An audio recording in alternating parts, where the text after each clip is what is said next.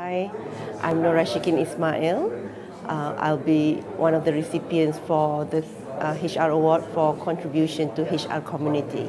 What inspired me to become a leader is uh, the, um, the, the fact that I would like to make a lot of difference, um, to be a game changer, to transform um, the human capital um, in the organization, and uh, to nurture and to develop uh, people.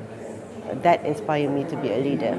My long-term vision to become a leader is to leave behind a legacy of my work um, so people will be able to, to be inspired uh, on what uh, the work that I have uh, done and um, especially to give inspiration to others, especially for women, to be more successful in, uh, in their role as a leader.